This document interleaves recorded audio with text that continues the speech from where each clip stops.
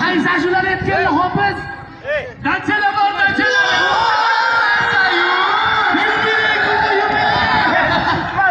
qani qani egilsinlar. Turazimi? yo'q uramiz. Mana mana. Mashinanga ham ye sen nimaga xizmatda cho'girma bilan yuribsan? Original ekan. Yaxshi ko'ryapsizmi esimga tushib ketdi. A unda yoz. Ha. Sevgilim. Lappi. Men sen bilan makapayoda uchrashardim. Sen menga qarab yugurarding men esa senga qarab yugurardim.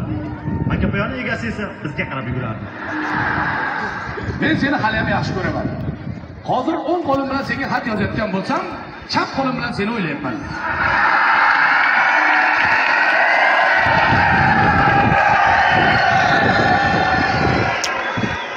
Sababi surating hali hamon chap qo'limda. Seni yaxshi ko'rib qoluvchi sog'inib qoluvchi ahmad nuqta qo'y. Ey, mana qarang umarov. Siz bu soldatlarga tuxlaga avtomat kalashnikov haqida ma'lumot bermaysizmi. Ha, avtomat kalashnikov bilmaysizlarmi? Aslo yo'q.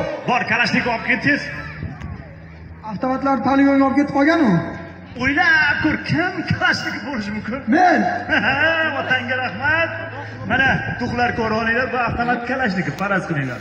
Bu tirgaklari mana. So'raganlarim yo'q. Bu avtomatni stoli qayerda u qayerdan kiradi qayerdan chiqadi tushuntirmaysizmi hop mana bu yerdan ochovingni mana o'q bu yerdan chiqadi. Bu yerdan tiqiladi bitta o'qiling bitta o'qiling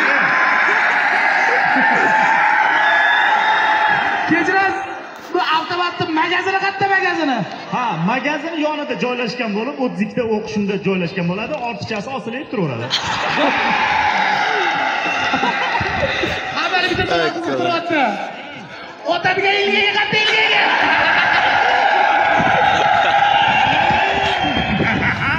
Ha, e, duxlar sindirib ketdi chiqib otgan yaxshimi Ha, sizlar bittalab otganlaring yaxshi. Avtomatikada shunda bosganda o'ttiz ikkita o'q varra chiqib ketadi stol qizib ani qo'lingni kuydiradi. So'ramanglar молодец yasha. Xizmatgacha kim bo'lgansan? Terpila bo'lganman. Usta bo'lgansan.